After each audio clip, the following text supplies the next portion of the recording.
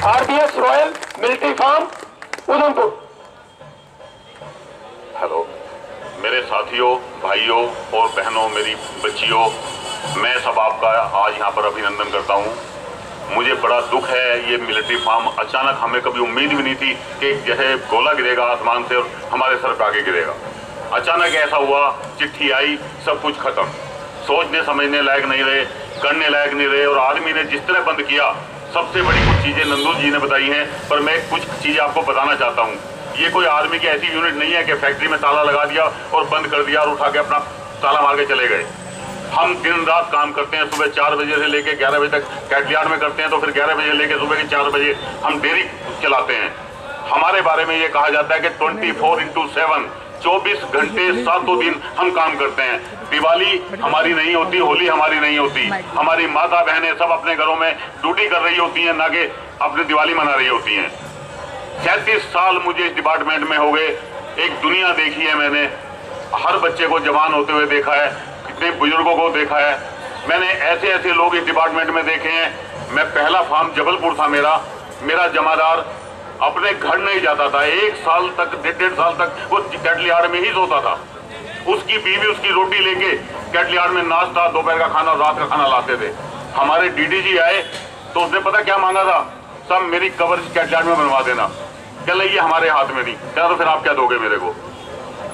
तो इतने मेहनती लोग हमारे पास थे और आज भी हैं। हमारा डिपार्टमेंट का जो भी जवान कहीं बाहर गया है, दूसरी यूनिटों में गया है, वहाँ के लोग तारीफ़ करते हुए नहीं थकते हैं। पर मैं कुछ और बात आपको बताने जा रहा हूँ, दूध के बारे में, फौज के बारे में। हमारे दूध के बारे में जो फैलाई गई झूठी बात है कि हल्का है, पतला है, लेकिन जो आज फौज पिला रही है, मैं आठ साल से जे के में हूँ, जम्मू में और उधमपुर में। हमारे पास ऑफिसर आते हैं, उनकी बीवियाँ आती है कर्नल की। साहब, दो लीटर, एक लीटर, अरे चलो आधा लीटर बच्चों के लिए दे दो। हमने कहा, नहीं आप कौन दे सकते, हमारे लिए ऑर्डर है कि हम सिर्फ़ कौन पीता है हमारा दूध? सबेरिया के अफसर कमांड हेडक्वार्टर के अफसर। और मिलिट्री हॉस्पिटल के। बाकी पूरा जवान साला बाहर में जाए, उसको पिला रहे हैं। कौन सा कॉन्टेक्ट का दूध? वन पॉइंट आठ उसका फैट है, उसमें कार्टिक सोडा फार्मलिन टेस्ट में रोज आ रहा है। इतनी लंबी लिस्ट बनी पड़ी है, लेकिन कोई बोलने वाला नहीं है फौजी। और अपने लिए इनको चाहिए मिलिट्री फार्म का दूध। लेकिन कहीं ये बोलने वाले नहीं है कि मिलिट्री फार्म अच्छा दूध दे रहा है। सिर्फ़ अपने बच्चों को पिलाने के लिए मांगते हैं। इसी तरह हमारे साथ हम घास देते हैं। बॉर्डर पे एडब्ल्यू चल रहा है इस वक्त। जिसे एनुअल विंटर स्टॉकिंग बोलते हैं।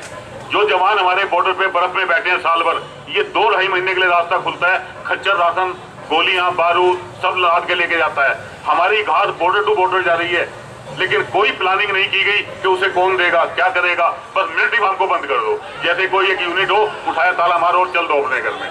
ये पच्चीस हज़ार गाय कहाँ जाएँगी? किसी ने नहीं सोचा। आज हम जहाँ पर खड़े हैं, हमारी एकता हमारे विजयी बनने का संकेत है। हम सब साथ रहेंगे, हम ज़रूर जीतेंगे, क्योंकि ये हमारी गौ माता ही हमें बचाएगी और जिताएगी। और मैं आप सभी से ये कहूँगा, हिम्मत नहीं हारनी है। लड़ना है, लड़ाई शुरुआत है ये भी, अभी तो आगे तक जाएगी। और हम इसमें हमेशा साथ हैं। बाकी ज़ोर से बोलिए, भारत माता की गौ माता की